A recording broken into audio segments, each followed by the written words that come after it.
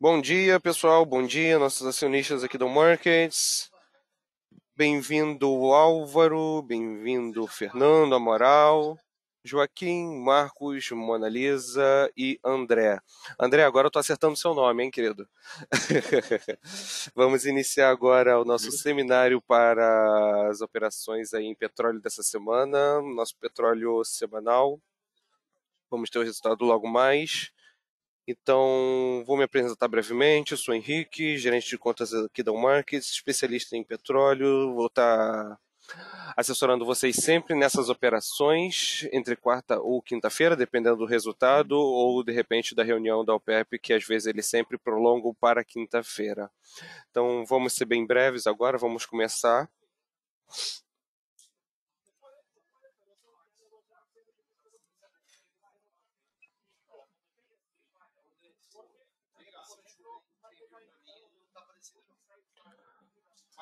Vamos lá. O petróleo estagnou, com o mercado aguardando estímulo, desenvolv... estímulo desenvolvimento de vacinas. O petróleo mudou um pouco, com o mercado avaliando os riscos de, de demanda de curto prazo, no aumento dos casos de coronavírus, quanto à esperança de mais estímulos e lançamento das vacinas. Os futuros em Nova York caíram ligeiramente após as negociações agitadas durante grande parte da sessão. As ações dos Estados Unidos subiram em direção a um recorde em meio às notícias de que os líderes congressistas republicanos planejam conversar com a Casa Branca sobre o alívio do coronavírus. Enquanto isso, o progresso no lançamento de uma vacina que é vista como crucial para dar início a uma recuperação de demanda do petróleo forneceu um suporte adicional. Bom, os preços aumentaram. Os preços aumentaram, as perdas nas negociações no final do dia. Depois que o American Petroleum Institute, financiado pela indústria, relatou um aumento nos estoques de petróleo é, bruto nos Estados Unidos, 1,14 milhões de barris é, começaram a ter movimentação. É, o relatório também mostrou aumentos no fornecimento de gasolina e destilados antes da contagem no governo dos Estados Unidos nessa quarta-feira. É, um dos comentários que foram passados em meio a essa reunião da OPEP, movimentação do petróleo, foi que a chave para a demanda do petróleo é manter a pandemia sob controle até a temporada de viagem de verão, que foi um comentário passado por Jay Hatfield, que é o CEO da Infracap em Nova York. Também sendo considerado o comentário que você terá algumas manchetes ruins do Covid, mas todas as manchetes ruins do Covid parecem ser combinadas com uma boa manchete de vacina. É, ganhos adicionais nos preços do petróleo dependerão em grande parte da rapidez com que as vacinas podem ser amplamente disponibilizadas ao público e também em relação ao início da vacinação do Reino Unido, que se tornou a primeira nação ocidental a iniciar a vacinação. É, enquanto um estudo revisado por pares em uma vacina desenvolvida pela Universidade de Oxford é, e AstraZeneca mostrou que ela era eficaz numa média de 67% contra os 95% da Pfizer, antes de uma ampla distribuição de vacinas. A recuperação da demanda destacada na Ásia proporcionou um ponto positivo para as perspectivas de consumo a curto prazo e, de outra forma, deprimidas. Para que a demanda continue a crescer, grande parte disso será devido às viagens e uma economia aberta. Isso também remete em relação às vacinas. Um pacote de estímulos dos Estados Unidos poderia ajudar também uma recuperação na demanda por petróleo, mas o tempo está se esgotando para aprovar um projeto de lei antes do feriado do fim de ano do Congresso. Estamos falando mais das festas de fim de ano agora. E o líder da maioria do Senado, Mitch McConnell, disse que está disposto a deixar de lado alguns dos pontos críticos que têm impedido as negociações, dizendo que os repórteres com o Congresso não pode sair este ano e também sem passar a questão do alívio deles, entenderam?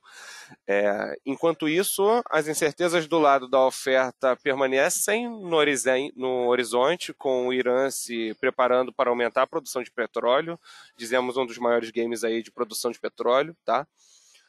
É, com a aproximação da presidência de Joe Biden, Joe Biden é, e ao mesmo tempo os Emirados Árabes Unidos fornecerão os compradores asiáticos um pouco mais de petróleo no mês, que vem depois da OPEP Plus chegar a um acordo sobre os cortes.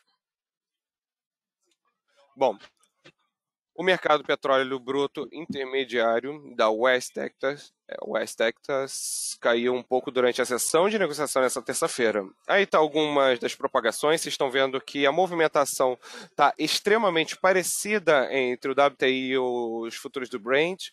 Realmente a elevação deles está extremamente alta. Então vamos lá. O mercado de petróleo bruto intermediário da West Texas caiu um pouco durante a sessão de negociação na terça-feira e com o petróleo buscando uma direção. É provável que o mercado continue vendo compradores por baixo, mas neste ponto é interessante ver que não podemos seguir em frente até descobrirmos várias coisas que estão influenciando o preço da maioria dos ativos. Isso inclui estímulos dos Estados Unidos e do Brexit. Os mercados estão esperando para ver se os problemas podem ser resolvidos ou não para aumentar a demanda. Bom, olhando o gráfico, o nível de 43,50 foi palco de, uma, de um grande rompimento e já foi testado novamente para o suporte. É, acho que há muitos compradores por baixo e é provável que continuemos a ver caçadores de valor entrarem no mercado à medida que avançamos em direção a essa área. Provavelmente temos uma mais uma perna acima, já que rompemos, mas não fizemos nada com ela. O fato é de que estarmos simplesmente matando tempo aqui sugere que, embora este mercado tenha se mostrado otimista, ele não está necessariamente explodindo para cima. Portanto, embora tenhamos um impulso ascendente, não vemos necessariamente nos lançar a estratosfera. Vamos, não, vamos, não vamos pensar que o, que o petróleo do Texas vai chegar aos 50 dólares. Isso é uma média, entendemos? Mas isso teria que. Isso, isso tem muita caminhada, tem muito chão para isso. E ainda não iniciamos tá? a vacinação nos Estados Unidos. Realmente foram só iniciados os é, a vacinação no Reino Unido, estão fechando contrato com outros países para iniciar tanto a Moderna quanto a Pfizer, entendemos? Que também, por volta do dia 15, a Anvisa também está para aprovar algumas outras vacinações de início no Brasil também. É, recentemente, é, o MME de 50 dias ultrapassou o MME de 200 dias, chamando Cruz Dourada, que é um tipo de indicação de comprar e manter, de, na verdade, uma operação a longo prazo.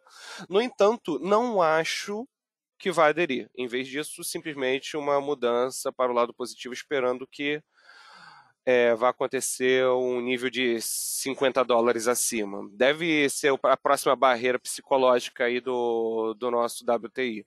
E poderíamos nos ver em direção a esse nível assim que o estímulo ou mesmo o Brexit fosse resolvido. É, se você prestar atenção também, deve, deve ser ao índice do dólar americano, porque ele tende a movimentar o petróleo se cair, como ele tem caído, na verdade, como vocês, brasileiros, não sei se vocês estão olhando as notícias, as manchetes, o dólar caiu de 5,85 para 5,8 até ontem. Hoje ele já teve uma alta para 5,14, então estamos vendo uma movimentação pequena no dólar. É, embora eu não veja este mercado decolando muito rapidamente, digo em relação ao petróleo, vender o petróleo bruto agora será quase impossível e você também provavelmente deve olhar Vocês devem olhar para os gráficos de curto prazo para comprar quedas e encontrar o valor. Digo operações a curto prazo e não manter simplesmente só em operações a longo prazo uma análise técnica rápida aqui para a gente logo logo começar de repente a fazer uma operação a curto prazo.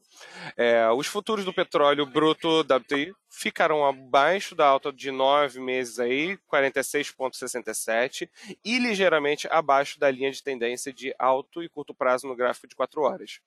É, o oscilador MACD, como vocês podem ver aqui, esse segundo aqui, está segurando abaixo de uma linha de gatilho de uma região positiva, enquanto o indicador RSI está se achatando perto do limite neutro de 50%. Ele está ele tá bem neutro, vai permanecer, está ficando flat no indicador de RSI, com uma média de 30, 50 e 70.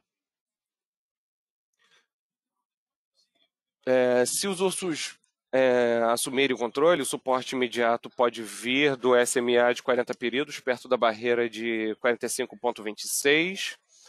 Abaixo, este último preço poderia também descansar em torno da superfície inferior da nuvem perto de 43,89 e antes de tocar os níveis de 43,33 para 42,65.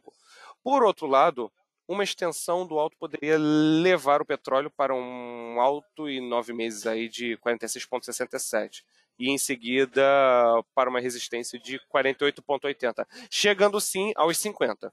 Mas estamos falando de, como posso dizer, é, um limite, uma barreira que, se ele ultrapassar, se ele tiver força de ultrapassar os 48 0,80, realmente vamos ter uma alta absurda aí no WTI, ok? Resumindo, os futuros do petróleo mantêm o movimento ascendente no curto prazo, apesar da última correção abaixo da linha de tendência ascendente, ok? Vamos colocar aqui para vocês agora à disposição o nosso gráfico para iniciarmos as operações.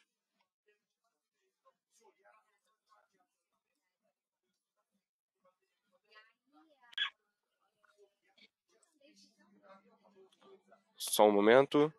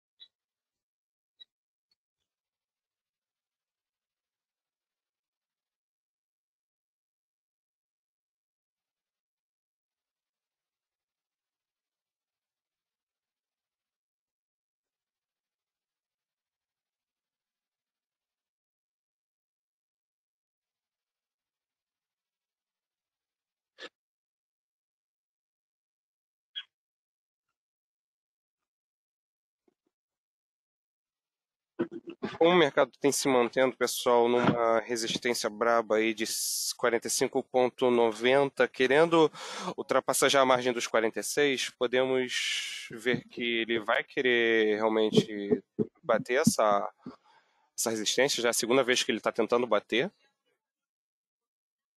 Estamos vendo aqui nessa segunda alta, sua vela realmente não está tendo muita força para cair, está se mantendo nos 45,94, então pode ser que ele comece a subir. Vamos dar uma olhada no resultado a longo prazo do petróleo. Só um segundo, pessoal, que a gente já inicia as operações.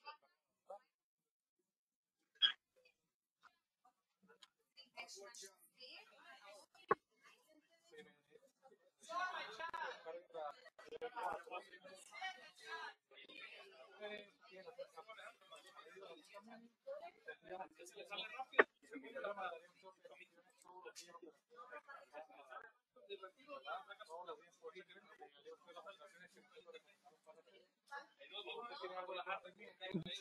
Bom resultado ainda não saiu.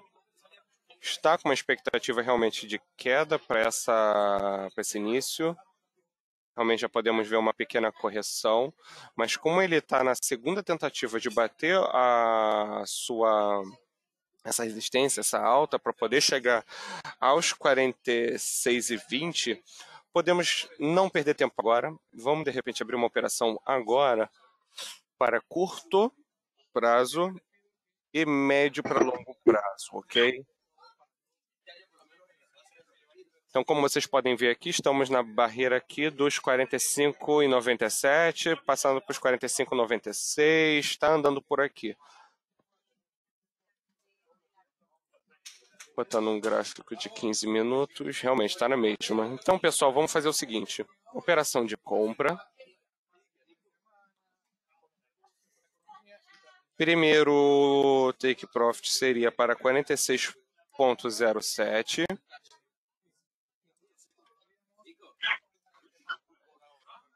Esse seria um take de curto prazo e teria um segundo take de médio a longo prazo para 46,18.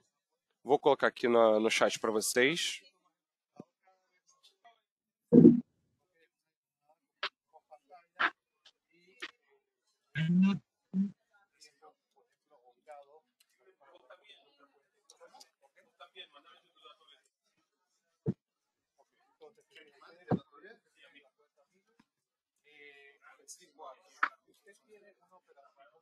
Pero este,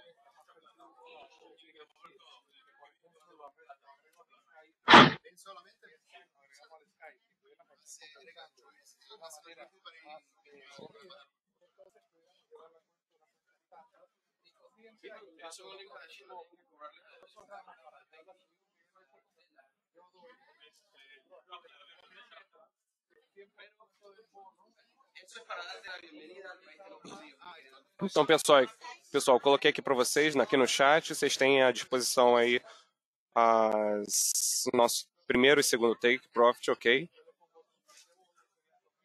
Uma compra a curto prazo para 46,7 e uma médio prazo de compra também para 46,18. De nossas operações, para primeiro aqui em nossa seria um lucro de 750 e para um segundo para 18 almejando aqui os 1.900. Cada um você tem acesso à sua conta, cada um pode ver o volume e lotes que vocês podem trabalhar. Então, eu queria saber se vocês estão com alguma dúvida referente às informações que foram passadas às operações que fizemos agora podem deixar tanto no chat ou vou deixar aberto também para vocês poderem falar aqui no microfone.